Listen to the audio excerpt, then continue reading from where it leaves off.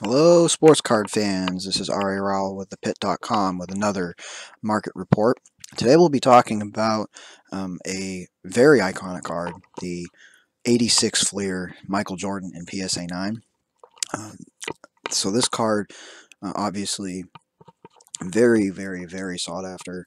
Uh, so the reason we're talking about this card today is we recently had uh, one of our uh, bigger traders uh, sell a good portion of his collection. So this card was actually sold to another pit trader uh, for $6,500. Uh, now that price might sound kind of low, um, but there's there's some reasoning behind that. So so this uh, so this trader uh, did buy that card uh, for $6,500 and he did relist it for $7,000.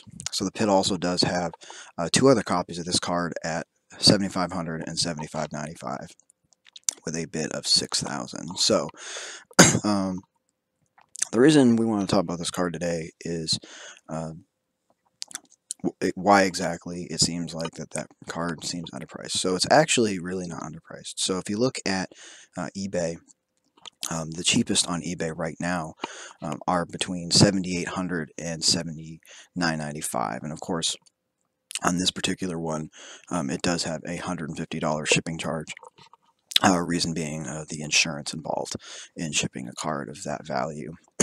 a similar case here uh, where it's $25 shipping. So these are uh, relatively around the same amount. So you're, you're talking about about $8,000, whereas the pit has uh, you know, three for sale under that price. So the reason that um, the, the seller decided to uh, sell that card for $6,500 is, first of all, this card was nowhere near $6,500 even, you know, a year ago. So, you know, that, that seller decided, you know, hey, I can make an easy profit on this card, get some cash now, and, and you know, get out of that card. So, um, and of course, we had another trader who was happy to buy at that price. So on the pit, um, when you want to cash out, so you can sell a card and cash out, uh, and there's a 10% uh, PayPal cash out fee. So he was able to get around you know $5,900 cash in PayPal. Um, and, and the reason the reason that you know makes makes a big difference is that if you were to sell uh, this same exact card you know, for eight thousand dollars on eBay, you know, eBay is going to take ten percent of that.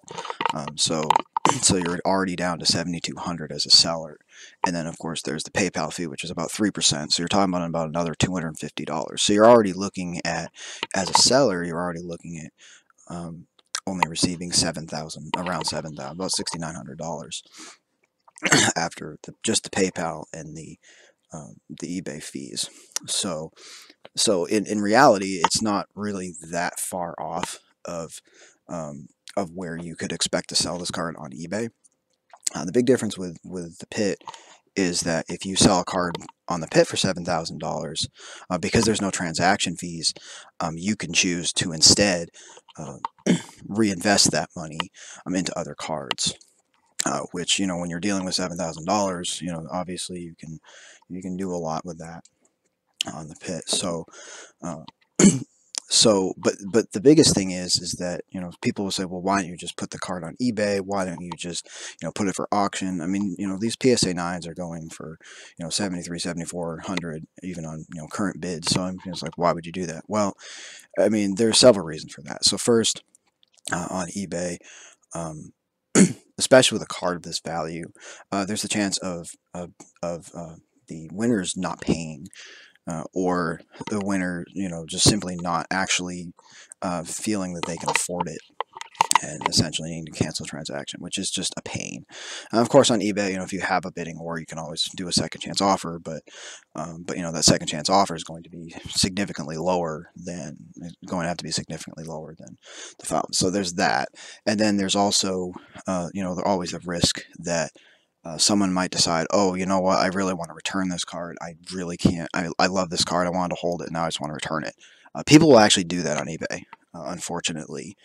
And, you know, not to badmouth eBay, but um, this isn't to badmouth eBay, but um, it does happen. You know, people do return cards a lot. And on the pit, you know, if you sell a card on the pit, um, then you know you as a seller do not need to worry about uh, worry about returns. So you know you can let the pit deal with that. So, so yeah, if you've been looking to pick up a Michael Jordan PSA 9, uh, the pit is definitely a uh, a good place. And if you've been looking to sell a, a Michael Jordan, um, it's also a good place. So you can you know you can list your Michael Jordan for significantly less on the pit and still make the same the same essentially the same amount of money. Especially when you're dealing with cards of this you know this type, you're not you're not dealing with an additional three percent or even having to ship the card yourself. That that is a huge difference because of course shipping this card is very expensive because of the insurance involved um, in making sure that this card does make it safely.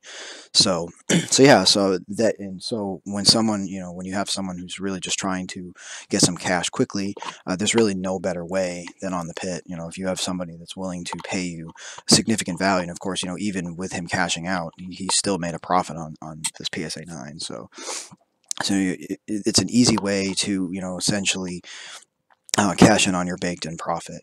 So yeah, so uh, what do you guys think uh, of the market for the 86 uh, Michael Jordan? Obviously, you know, very hot market. It's always been a hot market, but, but especially right now. Uh, you know, where do you see this card ending up? Do you think that it is a good buy at 7,000? Do you think that it is sort of plateaued, or do you think that it'll keep going up? I, I personally think that it's going to go up a little bit more. Um, you know, I, I, I wouldn't be surprised to see this card eventually reach $10,000, uh, especially with how rare PSA 10s are. But, uh, so yeah, so definitely uh, let us know your thoughts on this. And, you know, if you are look in the market to buy a a Fleer PSA 9, you, know, you can also be uh, assured that these are, are genuine uh, Michael Jordans. Of course, there are some older holders out there uh, that are actually fakes, so uh, but you never have to worry about that with a pit. These are verified and uh, as genuine.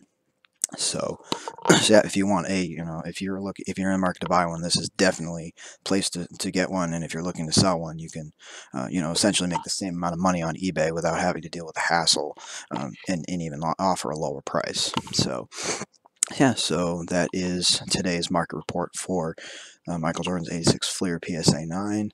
Uh, happy collecting and hope to see you trading on the pit very soon.